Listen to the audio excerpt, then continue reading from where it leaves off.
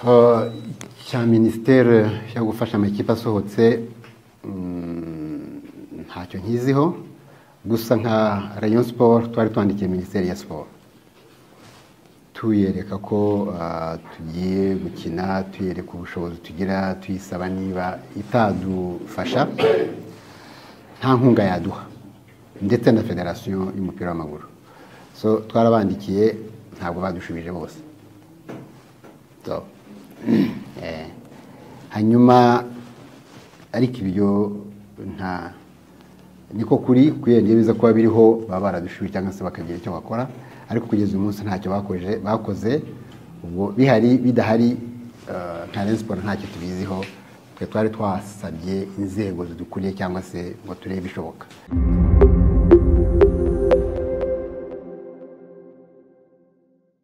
Nashaka kubaza mu minsi ishize higeze kuvugwa ubwo nari nkomoje ku byo mwavuze bijyanye n'abaterankunga harimo nka sikoro yishyuye ibigeze kuri mirongo irindwi ku ijana.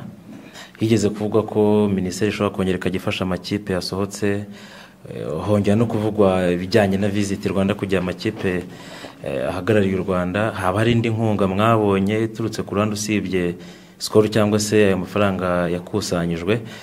Eh, hari n'akandi mwakomojeho ku bijyanye no kuba Rayon Sports itara- itaranyuze mu ijonjora ry'ibanze.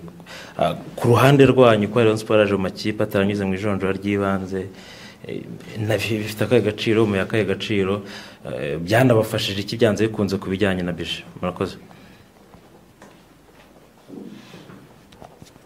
Ntarakoze sami. Uh, cya minisiteri yo gufasha amakipe asohotse mm, ntacyo nkiziho. Gusa nka rayon sport twari twandikiye minisiteri ya siporo tuyereka ko uh, tugiye gukina tuyereka ubushobozi tugira tuyisaba niba itadufasha nta nkunga yaduha. Ndetse na federasiyo y'umupira w'amaguru. So twarabandikiye ntabwo badushubije bose. Eh, hanyuma ariko ibyo nta niko kuri iyo biza kuba biriho baba baradushubije cyangwa se bakagira icyo bakora. Ariko kugeza uyu munsi ntacyo bakoze bakoze ubwo bihari bidahari eh, nka Sports ntacyo tubiziho twe twari twasabye inzego zidukuriye cyangwa se ngo turebe ibishoboka. Eh, niba nta byakozwe ubwo eh, ntabwo nabijyamo cyane eh, iyo biba bihari tuba twarafashijwe.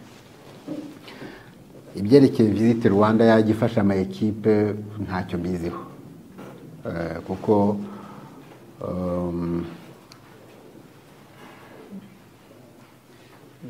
twigeze no gushaka gukorana nabo tubaha poropozo rdb Eh, imaze n'igihe kirekire so imyaka ibiri nta kirakorwa. Eh, twibutsa twibutsa uburyo kiza kuba gihari nabo ni nk'ibi ngibi hari icyo baba baratubwiye. Ubwo ku bwanjye ibi byose ntabihari so ikindi rero cy'uko uko twakiriye eh, kuba tutaragiye mu majonjora y'ibanze eh, ntabwo ntabwo ari impano twahawe. Burya iyo uhawe impano ikintu tumvaga kita utamerita ni ho wa- wagira icyo ukora. Ariko niba ari ah, amabwiriza n'amategeko na regulations ziri muri kafu zivuga ngo ekipe izaba yarageze aha n'aha n'aha ubutaha nigaruka bizagenda bitya? Ubwo ni uko twari twarabikoreye.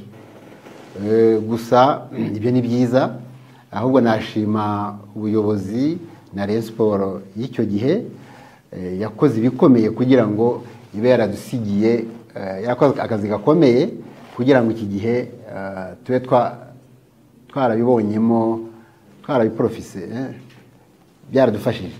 Ubwo natwe dufite inshingano ahubwo zo kurwana no gukora nk'uko bakoze kugira ngo Rayon Sports ahubwo n'ubutaha ijye itangirira eh, nti- ntigatangirire mu majonjora. Ahubwo noneho n'ibinashoboka tugere kure hashoboka. Rero uko twabyakiriye ni ni byiza kuko eh, ni byiza ku kazi kari karakozwe mbere. Naho ibindi byo nivo ya kafu ndasanga ari kuko rwanda ari ikipe cumi n'ebyiri bafashe ntabwo ari tombora bakoze cyangwa se impano baduhaye. Barebye ama ekipe yagize parumaresi nziza iki gihe iki n'iki. Ba- basanga amabwiriza n'amategeko yabo dufitingamo dutangira aho tugomba gutangirira. Gusa ahubwo icyo umuntu yashima ni akazi kakozwe n'abakinnyi n'ubuyobozi n'abafana n'abareba- abareberaga Rayon Sport icyo gihe kuko bakoze akazi gakomeye kagenda gafasha Rayon Sport kugumana ubukaka bwayo n'ubushongore eh, mu ruhando rwa karere na afurika ni cyo nagusubiza.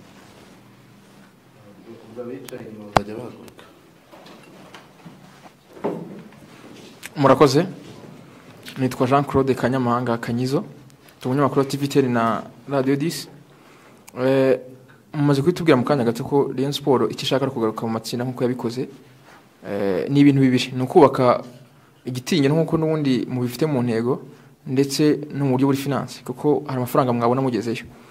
Ariko tugendeye ku rugendo mugiye kugenda n'urugendo ruhenze nk'uko mwabikomojeho hari n'amakipe yo mu Rwanda yagiye mu nce nk'izo mugiyemo n'ubundi bibafekita nyuma.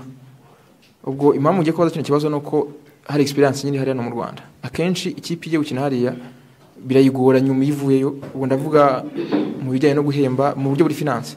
Stability yari iri muri Rayon Sport ntabwo izashegeshwa n'urugendo mu gihe nk'uko intego za Rayon mufite zo kugera mu matsinda bitakunda amafaranga yaboneka wenda akazi icyo cyuho? Ntaboneke. Ni ukugira wenda abafana ba Rayon Sport muba mubarimo agatima. Wangira inama tubireke kugira ngo tuza-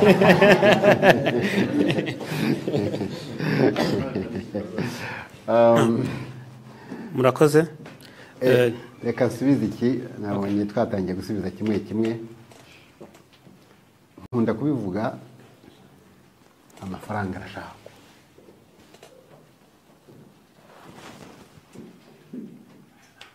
amafaranga arashakwa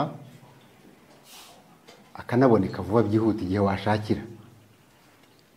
Ariko hari icyo udashobora gushaka vuba byihuta ngo ukibone. Reputation. Victory. Nk'uko yayabonetse n'ahandi azaboneka. Ni ukuvuga football ni football.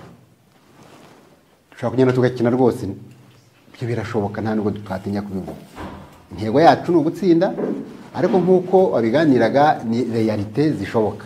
Dushobora kuba tutatsinda tukagaruka. Ariko nk'uko nakubwiye ko kuko ibyo nakubwiye cyangwa ibyo nabwiye abanyamakuru ntabwo navuze ko abantu bafashije urugendo batugurije. Nta deni dufite. Tuzagaruka dukomeze ubuzima bwa Rayon Sport nk'uko twari tumeze mbere y'uko dukora urugendo. Nagira ngo rero ni byiza ko barije abakunzi bayo ko abakunzi bashobora kwihangayikira bashingiye kuri experience y'izindi ekipe njye ntazi ni wowe ubimbwiye kuko njye sinkurikirana iby'abandi cyane ngo menye icyo bita ku izina eterne ariko eh, nta mpungenge zihari eh, tuzakomeza kubaho uko twabagaho cyangwa tunarusheho kuko niyo mpamvu ubuyobozi buhari. Eh, duhora dushaka kuko ikipe isaba amafaranga cyane cyane ikipe nka Rayon Sport yo mu Rwanda isaba amafaranga. Niyo mpamvu duhari ngo tuyashakishe.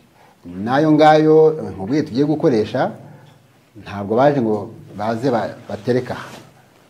Hari negosiyasiyo zibaho hari kuganira bibaho hari akazi k'ubuyobozi. Nkaba nizeza rero abadukunda ko ntabwo tuzagira eh, uko byagenda kose. Nitugira imana tugatsinda ni byo koko tubona amafaranga azadufasha kongera kubaka Rayon Sport.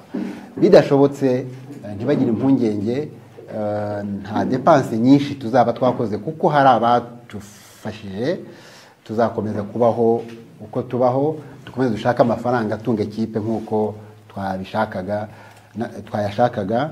Ntabwo muri gahunda yacu ya komite twihaye nuko twavansa mu mitegurire mu gushaka kubaka ikipe ntabwo tuzasubira inyuma kuko twasohotse muri uru rugendo tukaba tutagize amahirwe yo gukomeza.